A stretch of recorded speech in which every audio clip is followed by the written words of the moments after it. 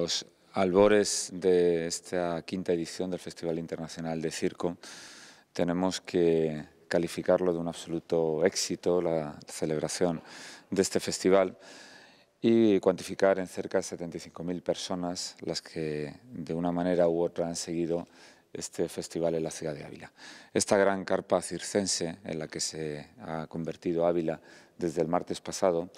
eh, eh, ha, tenido la oportunidad de presentarse al mundo como un lugar absolutamente idóneo para eh, este, este, arte que es el circo pueda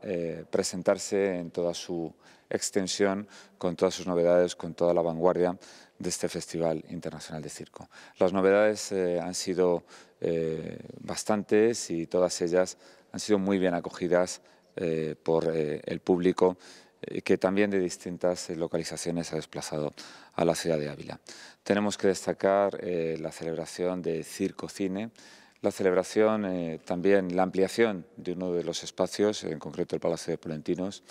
eh, y que todos eh, y cada uno de, aquellos, eh, de aquellas representaciones de aforo limitado han vendido la totalidad de sus entradas. de hecho, una de las actividades de circo social, Rojo Telón, tuvo también que ampliarse el aforo de la sala de cámara a la sala sinfónica por la importante demanda que hubo también de entradas para esta actividad.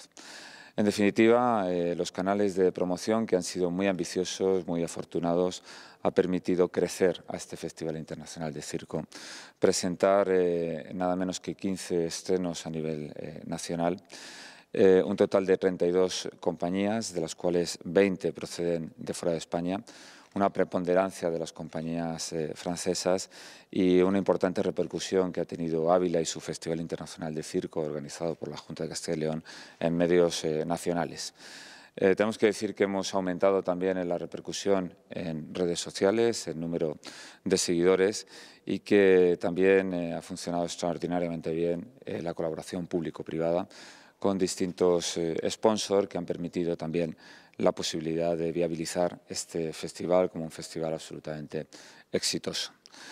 Eh, agradecer también la colaboración inestimable del Ayuntamiento de Ávila por todas las facilidades eh, concedidas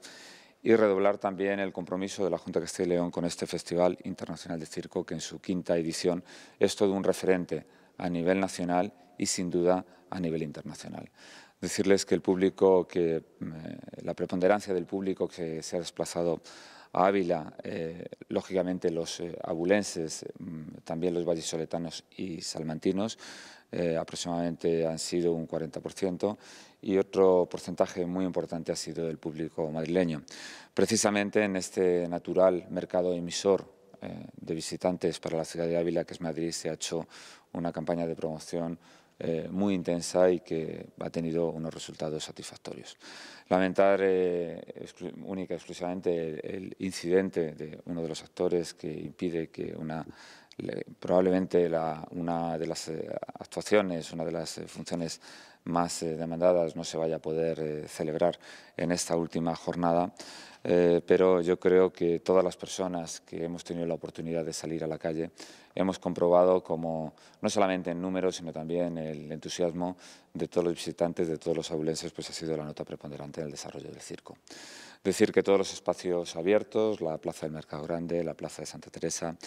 la Plaza de Adolfo Suárez, eh, han estado absolutamente repletas eh, de público eh, y no es exagerado calificar como un éxito rotundo la celebración de este Festival Internacional de Circo.